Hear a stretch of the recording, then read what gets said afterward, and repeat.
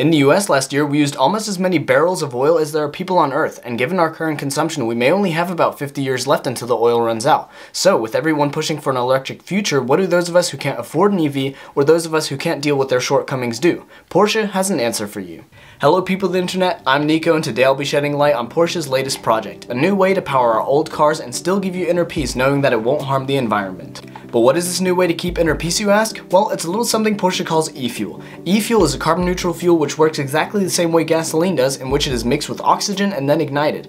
And you could run your car on it now without having to modify anything. In fact, regular old gasoline and this e-fuel are made of the same components, hydrocarbons, which are molecules of hydrogen, carbon, and oxygen all bonded together. And like gasoline, the energy of the fuel comes from breaking the bonds between the atoms when it is ignited. Before it's ignited though, it needs to be made, and this is where the difference between regular gasoline and e-fuel lies. Gasoline is refined from oil, which is just pumped from the ground, and e-fuel is made in a straightforward but still complex chemical process. In simple terms, the process goes as follows. Air is captured and carbon dioxide is filtered from the air and stored.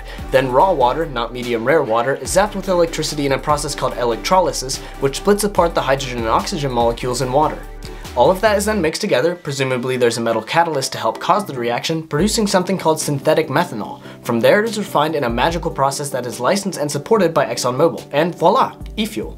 To be honest, it sounds too good to be true, but unlike dad saying he'll be back after getting milk from the grocery store, it's not a lie. Porsche has already made over 30,000 gallons of the stuff and tested it in the 2021 Porsche Mobil 1 Super Cup race series. All that science is sound. Porsche has already made this stuff and several brands including Mazda, Bentley, and McLaren have all said positive things about synthetic fuels. On top of that, some companies like Carbon Engineering are planning on making their own synthetic fuels, which they claim will cost about $4 per gallon. Not bad compared to what we're seeing today. Carbon engineering does use a slightly different process. Instead of using carbon dioxide, they use carbon monoxide, so carbon with one molecule of oxygen rather than two, but they still produce basically the same fuel as Porsche. But, and this is a Finding Nemo sized but, Porsche's e-fuel is by no means commercially available yet, and neither is Carbon Engineering's clean and green gasoline. Porsche is still working on getting more e-fuel plants, and even then likely won't be able to produce nearly as much fuel as the world currently consumes, and Carbon Engineering is in a similar position of not having the capacity to meet present demand. Porsche is aiming to produce 550 million liters of e-fuel per year by 2026, which for context is less than half the amount of gasoline the US consumed on average in 2021 every single day. In addition, the refining process is very different and oil refineries would have to replace their current technology, which is no easy task. In fact, back in 2012, some researchers from Princeton University projected it would likely take 30 to 40 years and over $1 trillion to retrofit all the US refineries. On the bright side, seeing projected a decade ago, I would assume that retrofitting the refineries would now be cheaper and easier than it was back then.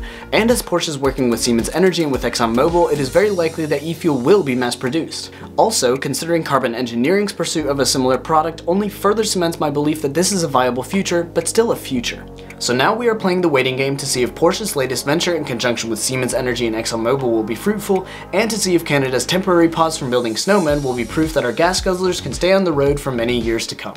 Comment below if you would prefer to have synthetic fuel or an EV and why. If you want to educate yourself further and want to see my sources, they are in the description. Until next time people of the internet, peace out.